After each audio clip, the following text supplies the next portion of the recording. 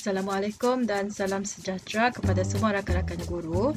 Uh, tutorial kali ini berkaitan dengan quiz assignment in Google Classroom yang mana bagaimana caranya guru boleh menyemak jawapan pelajar uh, di dalam quiz assignment. So langkah yang pertama, uh, cikgu perlu buka Google Chrome. Lepas tu cikgu pastikan cikgu masuk ke dalam akaun MOE DL cikgu. Lepas tu di bahagian uh, search uh, URL sini uh, cikgu type classroom .google.com okay. So cikgu klik enter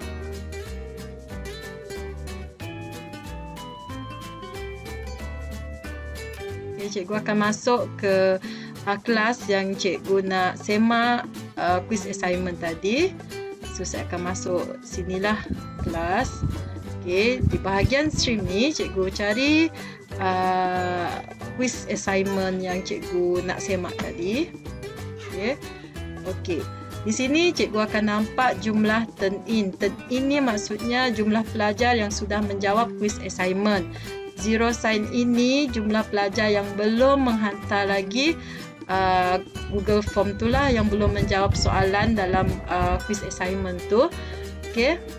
Okay, ini adalah uh, pelajar-pelajar, uh, lima orang pelajar yang telah menjawab uh, quiz assignment tadi. Sebelah sini, sini pun boleh cikgu tengok dan di sebelah uh, kiri ni pun cikgu boleh tengok siapa yang sudah menghantar. Kalau cikgu nampak tulisan warna merah tu, uh, assign yang sebelah uh, kiri kiri ni assign dan sebelah uh, ten ini sebelah uh, kiri ini missing. Di sini missing maksudnya pelajar tu belum buatlah.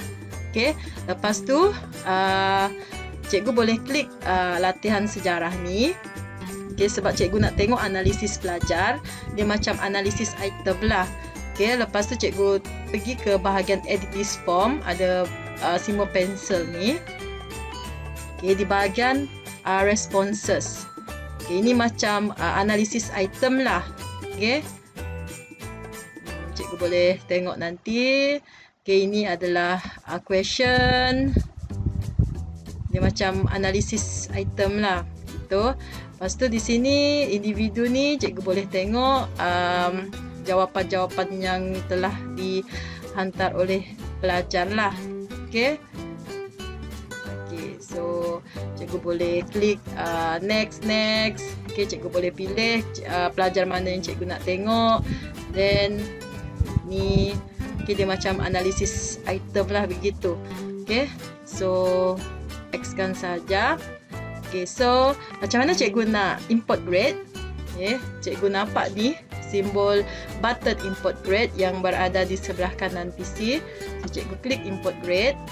Okay, are you sure you want to import grades from latihan sejarah? Importing grades will override the current grades in classroom. Okay, import.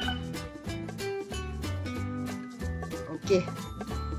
Okay, maksudnya di sini cikgu dah import grade lah.